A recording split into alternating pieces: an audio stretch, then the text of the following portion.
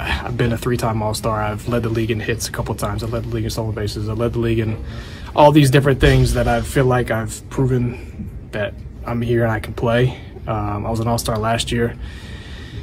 I've done that. I want to win now, and so I'm here to do whatever I need to do to win and to help this team win. Whether it's sit on the bench and be a cheerleader for 162 games, I don't think that's why they brought me here. But you know, if that's what they want me to do, um, I just I just want to win.